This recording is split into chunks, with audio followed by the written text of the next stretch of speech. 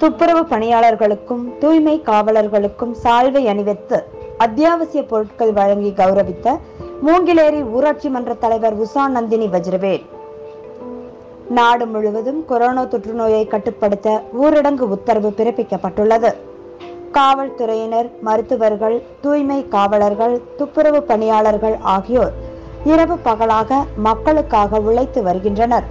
அவர்களை சிறப்பிக்கும் வகையில் இன்று மூங்கிலேரி ஊராட்சிக்குட்பட்ட தூய்மை காவலர்களுக்கும் துப்புரவு பணியாளர்களுக்கும் ஊராட்சி மன்ற தலைவர் உஷா நந்தினி வஜ்ரவேல் மற்றும் ஒன்றிய கவுன்சிலர் சுகந்தி தீர்த்தகிரி தலைமையில் சால்வை அணிவித்து அவர்களுக்கு இலவசமாக அரிசி பருப்பு காய்கறிகள் மளிகை பொருட்கள் ஆகியவை வழங்கப்பட்டது.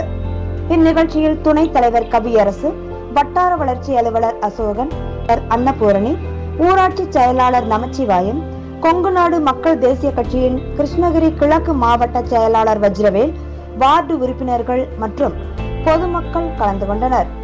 ஊரையே தூய்மைப்படுத்தும் துப்புரவு பணியாளர்கள் மற்றும் தூய்மை காவலர்களை சிறப்பிக்கும் வகையில் அவர்களுக்கு தேவையான அத்தியாவசிய பொருட்களை வழங்கிய ஊராட்சி மன்ற தலைவருக்கு பொதுமக்களும் துப்புரவு பணியாளர்களும் நன்றிகளையும் பாராட்டுகளையும் தெரிவித்துள்ளனர்.